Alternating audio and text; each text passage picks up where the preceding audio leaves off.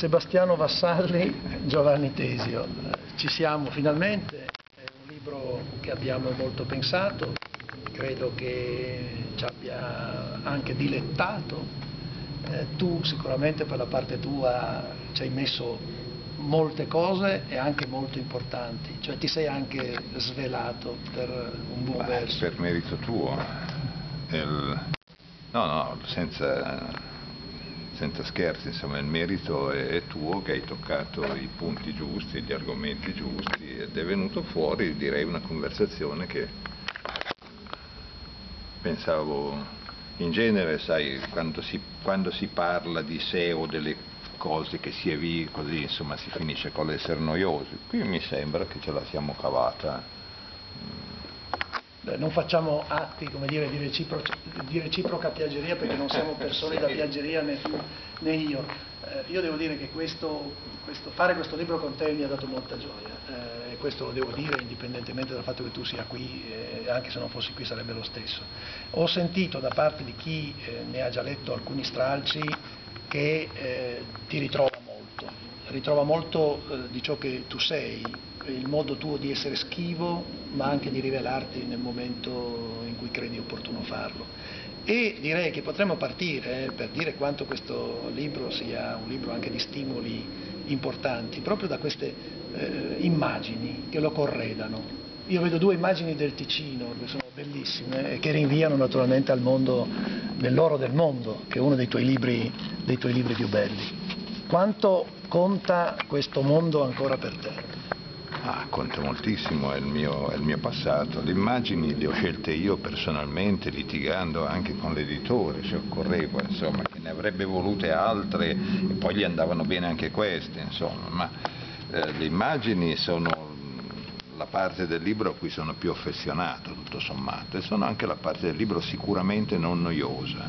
Per chi conosce questi luoghi e comunque è vissuto eh, ha delle esperienze di vita in qualche modo simili o parallele, insomma, e ci si ritroverà.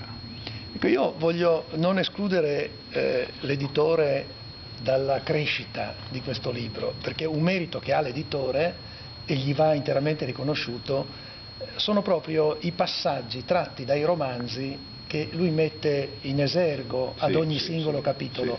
Eh, devo dire che anche questo fa ricchezza, Sì. fa ricchezza di libro e soprattutto crea un ponte molto preciso tra ciò che tu dici e ciò che tu hai letterariamente detto. Sono stati scelti bene, insomma.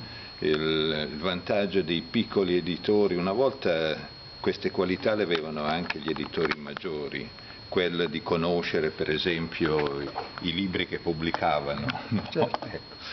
Eh, ora non più. E il- la piccola editoria dà ancora qualche, qualche soddisfazione e qualche vantaggio rispetto alla grande editoria. Ancora una domanda se, se non siamo, se non risultiamo poi alla fine troppo noiosi, ma è una domanda a cui potrei rispondere con leggerezza, io credo. Eh, tu nei tuoi romanzi ti sei molto svelato, ma in maniera travestita. Eh, Mm. Indubbiamente c'è molto di te, bisogna andarlo però a Sì, cercare. certo, certo, sì, ma non, non nel senso immediato No, di no. corrispondenza tra quelle storie che ho raccontato e la mia, no. No, io non no. vorrei mai che si pensasse Questo questo. no. eh, Certo che ognuno, eh, credo che anche, anche Omero c'era del suo in Achille Ettore e, e in Ulisse, insomma, però era molto, molto, come dire, molto alla lontana, insomma, molto... Ecco, però eh, in, questa, in questa intervista di te parli in maniera molto più Sì, sì, esplicita certo. e veridica, ecco, mettiamola in, Certo, questo, certo, certo. in questo senso. Che cosa può averti spinto eh, a questa stagione? Qualcuno ha rivelato, e io non voglio farti offesa, che sei vicino ai 70, che cosa ti può, può avere spinto a fare questo, a deciderti a questo? Mi hanno spinto gli anni, cioè, è, una- è- è inevitabile, insomma, quando si arriva è un po' come quando si sale in montagna, no? che sali, il fiatone, poi a un certo punto